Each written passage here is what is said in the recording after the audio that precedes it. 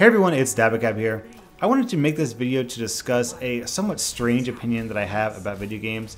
At least I think it's strange. I think probably there's not a lot of people out there who share this opinion.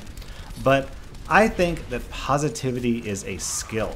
I think it's a skill that should be trained and honed and perfected in pretty much the same way that you train, you know, your accuracy or your map awareness or your team coordination. And it's a fundamentally important and critical skill to competitive games like FPSs and MOBAs. And in a lot of ways, to be honest, I actually think that positivity is more important than aim. I think a good attitude is better for you than good accuracy. And I realize a lot of you probably gonna have sort of like a knee-jerk reaction, like, "Oh my gosh, this is an FPS. Good aim reigns supreme. That's the most important thing." And like, I understand where you're coming from, but there's, there's kind of more to it than that. So I try to think about how positivity affects the game, the players, me, and like me outside of the game as well. So like if let's let's imagine for example that you have two extremes. You have a super super positive person who is bad at the game. So let's imagine this like 10 year old picks up the game and he's really enthusiastic and he's on voice chat and he's saying, "Wow, you guys are really good. Man, we're we're, we're not doing well, but we can do this. Let's stick together." And he's just being super positive, but he just can't shoot anyone. Versus this like pro MLG expert who's getting headshots left and right, but is just complaining and you suck. Your, your aim's terrible. Go kill yourself. Uninstall. And he's criticizing people in the other teams, and he's just like constantly just riding everyone. Like, which would you rather have on your team? For me personally, I think that I would rather have the you know the young kid who's positive about the game, because like you, you got to keep in mind that positivity sort of like leaks out positivity and negativity both leaks out into other parts of the game. I mean there's this there's the phrase playing on tilt and for those of you who don't know that's actually a poker term. In poker if you sort of have a couple bad hands and you get frustrated you start playing worse and they call that playing on tilt and poker is like a pretty like chill game i mean you're not like in like a sort of sort of like high stress high energy split second decision environment. You're basically just sitting on a chair. I mean, there's a lot of money on the table, but you, you have a lot more control over your environment. Versus FPS games where you've got to be sort of like in the moment, everything's really intense and your adrenaline's pumping. So it's a little bit easier to get sort of emotionally intense in an FPS game. So if poker players playing a game that is all about keeping your cool can get frustrated and play badly, then that's certainly the case. That's certainly true for a highly emotional game like an FPS. So if you allow yourself to get tilted and get frustrated and start playing badly, then you know even if you're a pro MLG expert, you're still going to be playing badly because that's just how humans work. We get frustrated and we don't do so well. And then the problem is that that spreads to other people. I mean, we've all had games where like you're sort of not doing well, maybe you have a bad start, and then someone calls you out and is like, "You suck, kill yourself, uninstall." and that makes you feel shitty or you're like you kind of feel on the spot so then you play even worse. And it kind of snowballs from there because the worse you do the more frustrated you get and the more frustrated you get the worse you do. Uh genji if you can't kill their bastion could you switch off? You can shut your nigger mouth. How about that no i wasn't talking sh learn to take criticism Guys, chill you out. can whoa, shut whoa, your whoa. nigger okay. mouth. No, I didn't say shit. I'm You can saying. shut your nigger mouth. See, I can make a song out of it, dude. Alright, okay. You win. Okay. and you know the negativity can spread to other people because then once you get frustrated you're more inclined to lash out at others and pretty soon the entire team is just typing out all this negative stuff to each other and complaining rather than actually playing the game and then on top of that like you have to look at positivity and how it affects you outside of the game. Like let's let's say every single time you sit down and play Overwatch, people are just constantly complaining and writing you and saying you're the worst, uninstall, kill yourself. You pro like I don't know about you, but for me that would be such a negative experience that I'd probably just stop playing. I mean, even if I like the game, if there's that much negativity lobbed at me, it, it'd be kind of difficult to ignore and just play through it. So that would make me not want to play, which means ultimately I don't practice, I don't get better at the game, I don't experience this game that I love. And on top of that, the game would develop this culture of being toxic and negative. I mean, there are games out there that have really negative cultures associated with them. League of Legends has had toxicity problems. Dota is known as being really sort of like hyper competitive and extremely intense. So, if Overwatch goes down that route, if people express their negativity and toxicity all the time, then that's what the culture will turn into. And then down the road, when people are like, "Hey, should I? Should I?" Overwatch just had this huge expansion with a lot of new content. I've been thinking about buying the game for a while. Should I buy it? And it's like, well, I heard that the community is really toxic. Maybe I'll pass. That actually hurts the game. It like reduces the amount of money that Blizzard has, which reduces the amount of resources they can allocate towards creating new content. So all these things stem from just being positive or being negative. So to me, I think genuinely that being positive is the most important thing. It affects your own skill, it affects the skill the skills of your teammate, it affects how you view the game and how much you want to, to play the game, which leads to how much you practice the game and how good you become at the game. And it affects the game culture and how successful the company does and how other people interact and become involved with the game. So whenever I sit down to play Overwatch, I like I'm always like I try to be positive. I or at the very least I try to not be negative.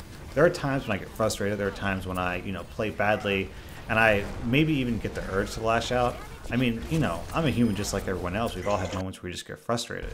But I make a conscious effort to not do that. I make a conscious effort to instead compliment people and say, you know, wow, like that that headshot was really good, Hanzo. Like, yeah, from my from my perspective, it was totally bullshit. Like, I you know I turn a corner, he wasn't even aiming at me. It gets my head, and when that happens, I would be like, ah, screw you, Hanzo. That wasn't even intentional. You just got lucky. And instead, I'll just you know type in all chat. You know, that was a good shot, Hanzo. Because just saying that, just paying a compliment to your enemy, trying to keep things light and friendly will actually lighten my spirit. It'll help me dispel that negativity that I first experienced from that really bad hit, that really bad headshot, and then help me enjoy the rest of the game. So it's sort of like whenever I have this sort of moment of frustration, I think of it as a crossroads. I can either go down this route of negativity, which will end with me being frustrated at the game. I'll be pissed off that people were calling me out, that I wasn't playing well, and I won't want to play Overwatch again after that. Or I will, but I'll come into the game sort of charged negatively and I'll play badly. Or I can just say, you know, it's not a big deal. Let's just try and be positive. You know, that was a good shot, enemy. Or, you know, we're doing badly, team. Come on, let's, let's pull it together. I'll switch out. You know, what can we do to fix the situation? And try to salvage the situation and infuse it with enough positivity that even if we lose, I come out of it thinking, you know what, that, that's fine. You know, I had a good time. I enjoyed it. For me, I try to train my positivity. I try to practice it like a skill. I mean, I, like you learn a new hero. When when a new hero comes out like Ana, everyone kind of sucks with her at first, and everyone's trying to like figure out how she works, and then you know the meta develops around her, and people have to learn how to play her. And it's the same thing with positivity. You just have to learn how to de-stress. You have to learn how to like notice what triggers you and avoid it. You need to learn how to just have a good attitude about the game. Because if you do that, if you have a good attitude about the game, then three months from now, that will translate into you knowing a hero better than you would have before. It translates into having better aim. It translates into having better map awareness. Because having this positive attitude leads to you playing more, to you being more engaged, to being more coordinated with your team. So this is my attempt to help out everyone out there. I mean, I'm not trying to say be positive because I want a more pleasant gaming experience. I'm saying be positive for selfish reasons. If you want to be good at Overwatch, if you want to win Overwatch, if you want to be better than your opponent, then try and be happy. Try and have fun. Try and enjoy your teammates.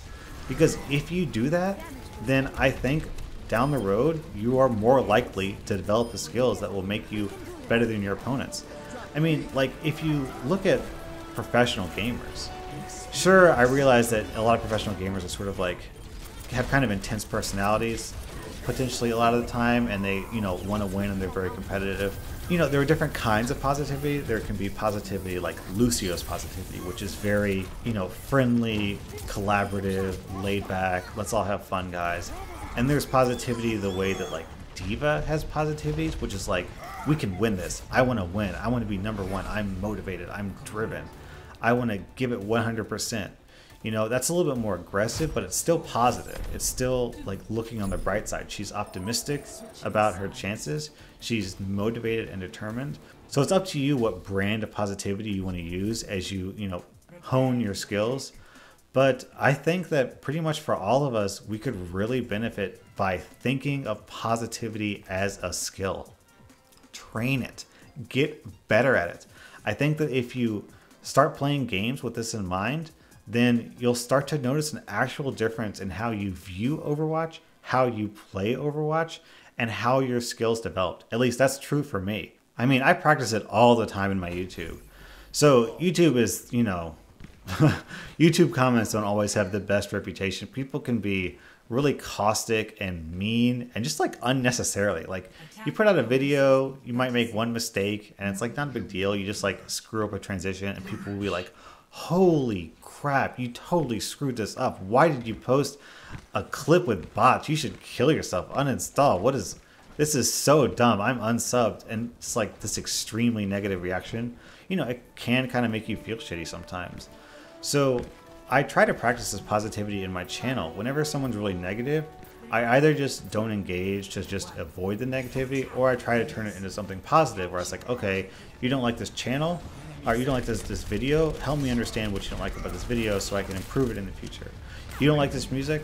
Oh, you know, I'm sorry you don't like this music. Um, I'm actually really limited by music selection because um, I can only put in no copyright music do you know of any other music that I can maybe use instead? And then, you know, maybe I'll find links to music that I didn't know about before. So for me, actually, it works. I mean, there was a, a couple of times very early in my channel's life where I was kind of like almost afraid to go to comments because even though 95% of the comments were positive, there are still those 5% that just stick with you, you know? Like it's, after a while, if, if you read like a lot of comments, they could just sort of blend together. But if you have just one guy who just like rails on you and just like, wow, this video sucks because of this, this, and this, then it kind of, you know, it just makes you feel bad. So it came to the point where I just didn't want to read comments. I just sort of put it off for like days, and finally I was like, "Ugh, fine. I guess I'll read the comments. I would go through them." And you know, it's like, okay, most of them aren't that bad actually. But I sort of realized that I was associating negativity with my YouTube, which made me realize that if I kept that up, I would eventually just not want to uh, not want to make videos anymore. I, I wouldn't want to nurture my channel and help it grow. So I tried to just change my mentality about comments and just be more positive. Just say, okay, there's always going to be some people who are negative, nothing I can do about it. But when it happens, I'll just have to either make the best of the situation or just not engage with the negativity and just not let it affect me. And it has worked for me. I've had a much more positive approach to the channel. I'm much more happy when I engage with fans, and overall, it's a more pleasant experience. So I'm hoping that everyone watching this can take this advice from me and apply this to Overwatch, and you know, make Overwatch and make your playing experience more positive. So that's my belief. I don't really know how common this is. I feel kind of like I'm a a black sheep in this. I've never really heard anyone else discuss positivity as a skill before, so I'm just sort of assuming that most people don't think of it that way. So let me know what you think. Do you agree that positivity is a skill that should be trained in an FPS like Overwatch? Do you agree that positivity can make you a better player? That it's an important skill, as important as things like map awareness or team coordination or maybe even aim? So let me know in the comments. I'm actually really curious to know because I've never really had a discussion with other people about this. Is just something that's been floating around in the back of my brain as I sort of train and try to become better. Do you agree or disagree? Let me know in the comments. Thanks for watching. Dabacabb out.